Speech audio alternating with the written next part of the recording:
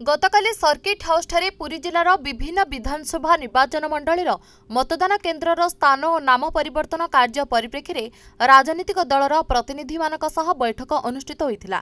ଏଥିରେ ଅତିରିକ୍ତ ଜିଲ୍ଲାପାଳ ପ୍ରଦୀପ କୁମାର ସାହୁ ଅଧ୍ୟକ୍ଷତା କରିବା ସହ ଭୋଟର ତାଲିକାକୁ ସ୍ୱଚ୍ଛ ତ୍ରୁଟିଶୂନ୍ୟ କରିବାକୁ ସମସ୍ତ ବ୍ୟବସ୍ଥା କରାଯାଉଛି ବୋଲି କହିଥିଲେ। ତେବେ ଯୁବ ଭୋଟରମାନଙ୍କୁ ସାମିଲ ସହ ଯେପରି ସେମାନେ ନିଶ୍ଚିତ ମତଦାନ କରି ଗଣତନ୍ତ୍ରକୁ ସୁଦୃଢ଼ କରିବେ ସେଥିପାଇଁ ସମସ୍ତେ ସଚେତନ କରାଇବାକୁ ଅନୁରୋଧ କରିଥିଲେ।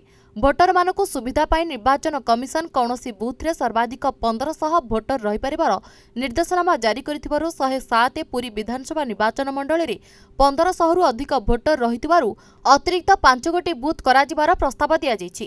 ଏହି ବୁଥ୍ଗୁଡ଼ିକ ହେଲା ଚଉତିରିଶ ସଇଁତିରିଶ ଅଣଚାଶ ଶହେ ତେତିଶ ଓ ଶହେ ଚଉତିରିଶ। ସେହିପରି ଶହେ ନଅ ସତ୍ୟବାଦୀ ବିଧାନସଭା ନିର୍ବାଚନ ମଣ୍ଡଳୀର ଅଠେଇଶ ନମ୍ବର ବେଣା ଗାଁ ବୁଥ୍ରେ ପନ୍ଦରଶହରୁ ଅଧିକ ଭୋଟର ଥିବାରୁ ଚାରିଶହ ଅଠସ୍ତରୀ ଜଣ ଭୋଟରଙ୍କୁ ଅଣତିରିଶ ବେଣା ଗାଁ ମତଦାନ କେନ୍ଦ୍ରରେ ସାମିଲ କରାଗଲା।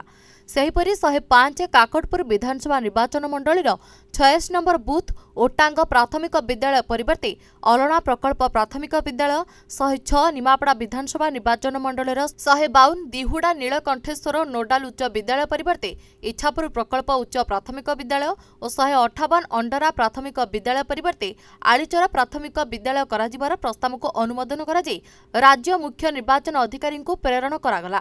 ଏହି ବୈଠକରେ ଡେପୁଟି କଲେକ୍ଟର ରାକେଶ କୁମାର ପଣ୍ଡା ଜିଲ୍ଲା ସୂଚନା ଓ ଲୋକସମ୍ପର୍କ ଅଧିକାରୀ ସନ୍ତୋଷ କୁମାର ରାମଚନ୍ଦ୍ର ପଟ୍ଟନାୟକ ସହକାରୀ ଜିଲ୍ଲାପାଳ ରାଜବଲ୍ଲଭ ନାୟକ ବିଭିନ୍ନ ରାଜନୈତିକ ଦଳର ପ୍ରତିନିଧି ପ୍ରମୁଖ ଯୋଗ ଦେଇଥିଲେ।